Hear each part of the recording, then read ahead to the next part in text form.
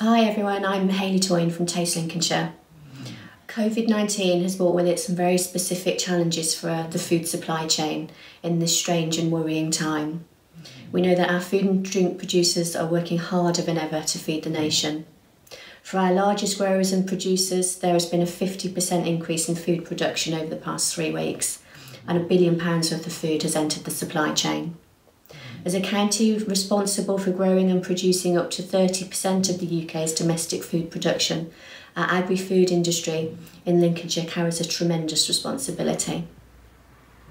And as well as the largest food producers, I know that many of our Taste Lincolnshire partners are also under immense pressure and many are facing the fight of their livelihoods. Knowing the type of businesses our partners run, I've collated some information that might be of help to you. If you own a pub, that serves food or a restaurant in England and Scotland, you'll be able to operate a hot food takeaway to serve people staying at home without going through the usual planning process. The Ministry for Housing, Communities and Local Government will shortly legislate to bring forward a temporary permitted development right to allow for a change of use from A3 restaurant and A4 pub to A5 hot food takeaway. The intention is that once the legislation has come into force, um, a pub or restaurant will be able to notify their local authority that they are now operating as a takeaway without prior approval. Cash grants for retail, hospitality and leisure businesses in England are also coming into place with a cash grant of up to £25,000 per property. Businesses based in England in the retail, hospitality, leisure sector are eligible, and this includes shops, restaurants, cafes, drinking establishments, hotels, guest and boarding premises, and self catering accommodation. You do not need to take any action. If you're eligible for the grant, you'll be contacted by your local authority.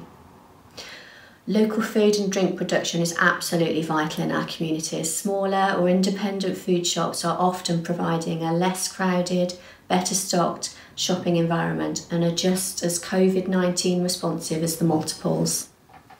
The Association of Convenience Stores has some great practical advice for shops that can be applied to food and drink retailers too. Lots of retailers are looking at home delivery as an option to reach local customers that are self isolating or unable to travel to the shop. This new guidance details what retailers should consider when starting a home delivery service. It covers the following areas how to take an order, take payment, operate a collection service, data security, bag charges, and age restricted products. The guidance explains what these regulations are and provides simple advice on conducting deliveries, which best promotes good hygiene and limits the risk of passing on, passing on COVID 19 and other viruses when doing so. There are also practical guides on claiming grants and compensation, guiding on employment law and colleague support, and you can also download posters for your store on home delivery, hand washing, and collections, etc. And very much on the ground and closer to home, the team at Visit Lincoln and Taste Lincolnshire will remain continuing to look at how we can support you. Our social media channels remain a vital way to communicate with consumers, shoppers, diners, your customers, and we'll be populating these with all of our partners' updates on trading, routes to market, and how best to connect with you. We'll be sharing any advice and tips we come across that may help your business at this time. For example, printing QR codes on takeout menus so that consumers don't have to handle them, they can simply scan to order. Or perhaps you can set up a subscription service for staple items that might be an answer to regulating an income stream.